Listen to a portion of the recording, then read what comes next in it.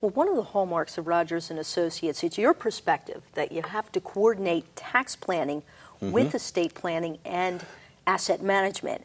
So I'm curious, why is that level of coordination so critical to you and the clients that you're advising? Well, here again, it comes back to spending. So let's say that we've done a good job of saving and we get to the point where we want to retire and we've accumulated a million dollars.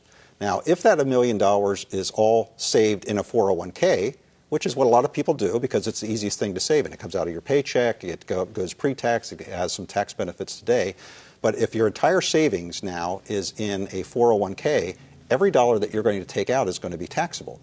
And a million dollars will support distributions of $40,000. So $40,000 out of your savings plus Social Security for a couple, which is probably around another 30. So 70,000 of income isn't a bad income but 40 of it's going to be subject to tax. And because it's subject to tax, it's going to make most of your Social Security subject to tax. So really, you don't have $70,000 to spend. You've got something like 60,000 or 55. Now contrast that with let's say that we've saved that million dollars in all three legs, using all three legs of the new three-legged stool. So a third of it is in your Roth IRA, a third of it is in that 401k, and a third of it is saved after tax. Now when we pull our 40,000, some of it comes from each one of those legs, and now none of it is subject to tax, or maybe only a very small portion. Now we have $70,000 to spend or $69,000 to spend and only 55.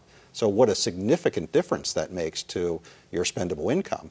And what that could mean to you is that, okay, if I'm not going to be spending $10,000 on tax, I don't even need a million dollars. Maybe I only need 800,000 because it's saved tax efficiently. So I could retire earlier. I don't have to save as much. Uh, so it makes a huge difference that people just tend to overlook the significance of taxes.